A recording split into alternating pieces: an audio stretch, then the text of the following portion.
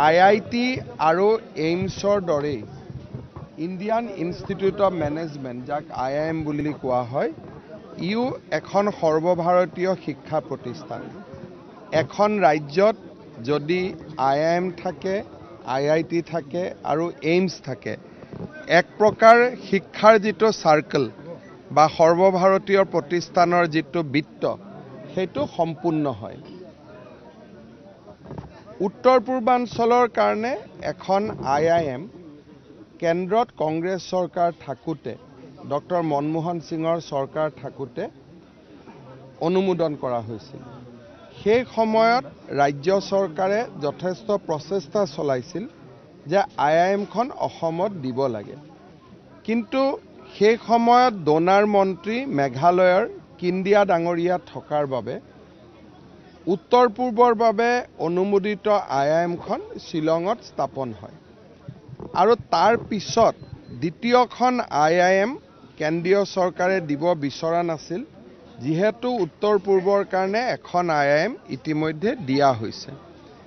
আমি কেন্দ্ৰীয় চৰকাৰক বুজাইছিলোঁ যে উত্তৰ পূব আঠখন ৰাজ্যৰ এটা সমষ্টি আৰু অসমৰ যিটো ভূগোল আৰু অসমৰ যিটো জনসংখ্যা তাক উত্তৰ পূৰ্বৰ আন ৰাজ্যসমূহৰ সৈতে মিলোৱাটো উচিত নহয়।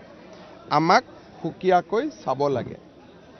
কেন্দ্ৰৰ চৰকাৰৰ বিশেষকৈ এন ডি এ দুই এই চৰকাৰখনৰ শেষৰ ফালে প্ৰধানমন্ত্ৰী নৰেন্দ্ৰ মোদী ডাঙৰীয়া আৰু শিক্ষামন্ত্ৰী ধৰ্মেন্দ্ৰ প্ৰধান ডাঙৰীয়াই আই আই এম অসমত স্থাপন কৰাৰ বাবে সন্মত হয়। আৰু পলাশবাৰী সমষ্টিত আমি এই আই আই এমখনৰ বাবে মাটি বাৰী প্ৰাৰম্ভিকভাৱে নিৰ্ধাৰণ কৰোঁ। আজি যিহেতু কেন্দ্ৰত প্ৰধানমন্ত্ৰীও একেজনে থাকিলে শিক্ষামন্ত্ৰীও একেজনে থাকিলে সেইকাৰণে আই আই এম স্থাপনৰ প্ৰক্ৰিয়াটো আমি ত্বৰান্বিত কৰিব খুজিছোঁ। তেওঁলোকে মোৰ এইটোও আবেদন থাকিব যে আই আই এমখন প্ৰথম কোনোবা এটা টেম্পৰাৰী কেম্পাছত হ'লেও আৰম্ভ হওক যেনেকৈ আমাৰ আই আই টি আদি আৰম্ভ হৈছিলে আৰু দুবছৰ তিনি বছৰৰ ভিতৰত পলাশবাৰীৰ আমাৰ মূল কেম্পাছলৈকে তেওঁলোক আহিব পাৰিব।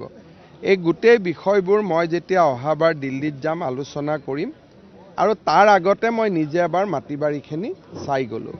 মাটি বাৰীখিনিক লৈ যদি এইখিনি মাটিয়ে আমি চূড়ান্ত বুলি ধৰিছোঁ ৰাভা হাছঙৰ লগতো মই আলোচনা কৰি ল'ম। তেওঁলোকেও সৈদ্ধান্তিকভাৱে কোনো আপত্তি নাই বুলি কৈছে। খালি অলপ নিয়ম নীতি মানাৰ কথা কৈছে সেইখিনিও আমি মানিব লাগিব। আৰু ৰাইজৰো সহযোগিতা আমাক লাগিব। ইয়াত আজি ৰাইজৰ যিমান উপস্থিতি তাৰমানে ৰাইজৰ সহযোগিতাও আছে বুলি আমি ধৰি ল'ব পাৰিম। নেশ্যনেল হাইৱেৰ পৰা এই মাটিলৈ দীঘল এই গাঁওখনৰ দীঘলকুছি গাঁৱলৈ আৰু এখন মাৰভিটা গাঁৱলৈ দীঘলকুছি আৰু মাৰভিটা গাঁৱলৈ আমি নতুন ৰাস্তা এটা বনাব লাগিব যাতে পুৰণা গাঁৱৰ মানুহখিনিৰ কোনো ক্ষতি নহয়। তেওঁলোক যেনেকৈ আছে তেনেকৈ থাকিব পাৰে যাতে কোনো লেণ্ড একুইজিশ্যন আদি নহয় বা তেওঁলোকৰ অসুবিধা নহয়। গতিকে বিকল্প ৰাস্তা এটা এই কেম্পাছলৈকে আমি বনাম। তাৰ বিষয়েও আজি আমি আলোচনা কৰিছোঁ। আৰু মই ভাবোঁ যে অসমবাসী ৰাইজৰ বহুদিনীয়া প্ৰত্যাশা এটা পূৰণ হ'ব গৈ আছে।